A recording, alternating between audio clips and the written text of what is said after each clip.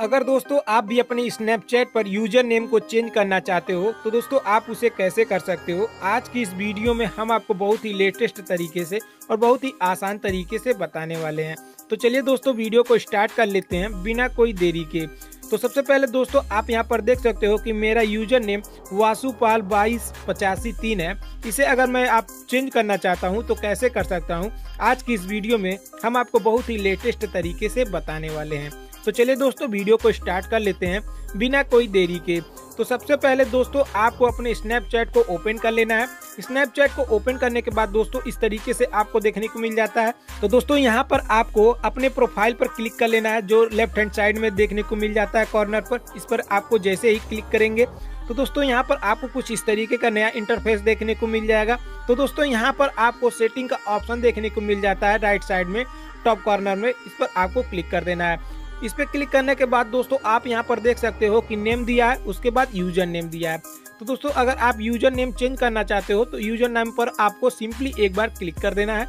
अब जैसे ही क्लिक करेंगे दोस्तों, आपको कुछ इस तरीके का नया इंटरफेस देखने को मिल जाएगा। तो दोस्तों यहाँ पर आपको देखने को मिल जाता है चेंज यूज़र नेम इस पर आपको क्लिक कर देना है। जैसे ही इस पर क्लिक करेंगे दोस्तों कंटिन्यू वाले ऑप्शन पर आपको क्लिक कर लेना है। कंटिन्यू वाले ऑप्शन पर क्लिक करने के बाद दोस्तों, यहाँ से आप अपने इस नाम को चेंज कर लीजिए, जैसे कि कट कर लीजिए। तो दोस्तों, मैं अपना यूज़र नेम चेंज करके विकास पाल तिरपन, उसके बाद दोस्तों, यहाँ पर थर्टी टू लिख दे रहा हूँ। अपना यूज़र नेम लिखने के बाद दोस्तों, यहाँ पर टेक्स्ट नेक्स्ट वाले ऑप्शन पर क्लिक कर लेना है। नेक्स्ट वाले ऑप्शन पर जैसे ही क्लिक करेंगे दोस्तों, आपसे पासवर्ड मांगेगा। तो दोस्तों, यहाँ पर आपको अपना पासवर्ड डाल देना है। जैसा की दोस्तों, मैं अपना पासवर्ड यहाँ पर डाल रहा हूँ। तरीके से आप भी डाल दीजिएगा।